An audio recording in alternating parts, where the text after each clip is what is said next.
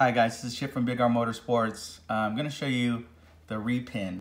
A lot of people make it sound like it's so hard and so difficult, but it's actually very easy. The first thing you want to do is you have your harness. You want to take the ECU off that you're going to be replacing, and then you take these little brackets, pull them back, and this black piece will slide right off. When that black piece slides off, you'll see that inside are numbers.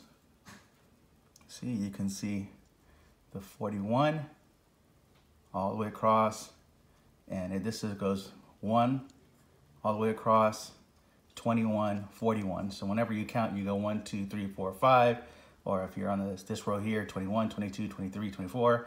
If you're starting off on here, it's 41, 42, and you can actually see the numbers inside. So it's fairly simple.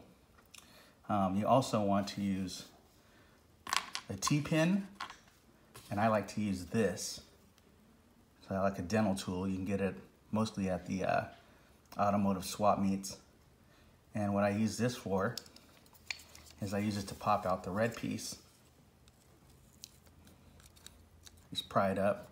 I like to pry it here, here, and here, and sometimes on this side so that I can pry it up and get this piece out.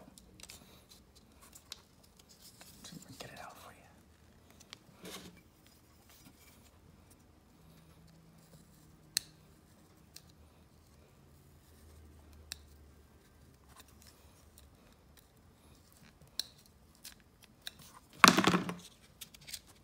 There you go.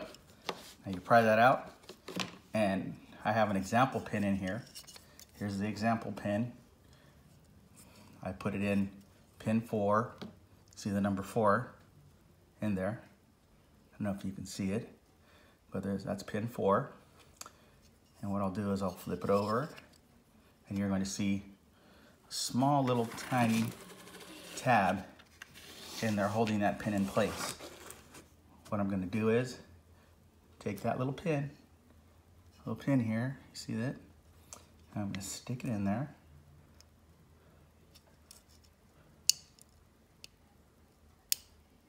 Pull the little tab down, pop the wire out. See if we can get it this out for you. There you go. So basically what you're gonna do is, you're gonna follow your instruction sheet. I like to use this sheet here. And you can literally look down and look what kind of car you have. example, if you have an 8485 SVO and you're repinning it for the LA3. So you're always going to be looking at the, at the T-Bird one. And you literally can just go down the line and see, okay, look, I have to make these wires match the T-Bird pin out. So you go down, looks the same, looks the same. Oh wait, now I'm at pin 30. 30 needs to move to pin 24. 32 needs to move to 31. You see how that is? And if you keep going farther down, you see 43 needs to go to 27. And you can see that. And there's actually only three main wires that you really need to do. The 43 to 27, the 25 to 43, and the 30 to 24. Those are the main three.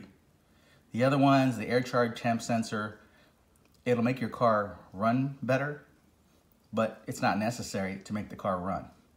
Those are the only three wires that you really need to focus on.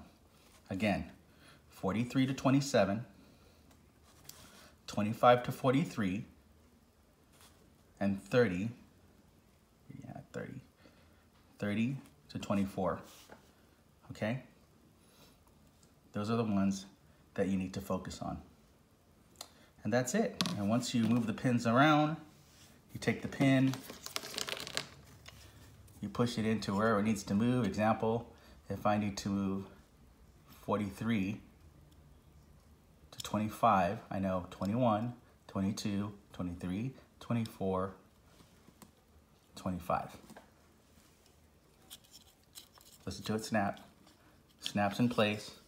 Once it snaps in place, I have all my wires moved around I put this back in here, put my little cover back on, and we're good to go.